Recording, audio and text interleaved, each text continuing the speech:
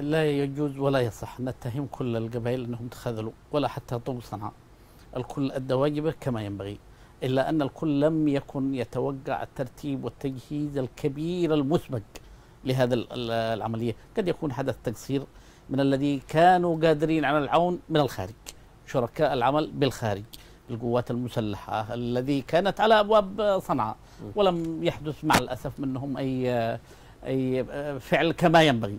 أو كما يجب أن يلتقطوا زي ما ذكر الأستاذ عبد الستار أن يلتقطوا الحدث ويحدث التغيير الإيجابي للفعل بين الداخل وبين الخارج. لم يحدث هذا ال- الكلام. أما فيما يخص القبائل فقد هبوا في الثاني من ديسمبر في كل المحافظات.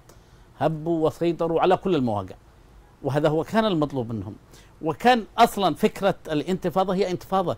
لم تكن عمل عسكري. صحيح. هي انتفاضة شعبية للسيطرة على أجهزة الدولة. لم يكن في هدف لا قتل الحوثيين ولا حبسهم ولا ولا تدميرهم. كان الهدف انتفاضة تصحيح للحفاظ. على تصحيح. وللحفاظ الواقع هذا. نعم على الحفاظ على مؤسسات الدولة الدستورية وإعادة مؤسسات الدولة لوضعها الطبيعي الدستوري كما ينبغي.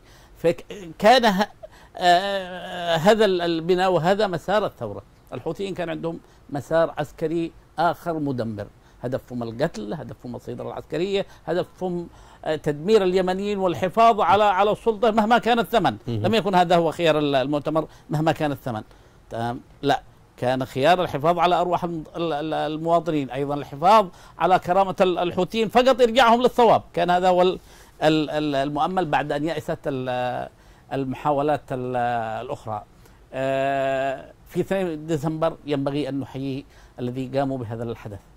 وعلى رأسهم طبعا الزعيم والأمين العام وندعو لهم بالرحمة والخلود ولذكراهم آه، ومسيرتهم العظيمة مشاعر النور ستضيء للأجيال ال- القادمة. ينبغي أن نتذكر أيضا الجنود البارزين والقيادات البارزه صحيح. في ريمه في حجة اكرم الزرقاء اكرم دشو شهداء بني سراع في المحويت في ريمه في صنعاء. كل هؤلاء لم يقصروا.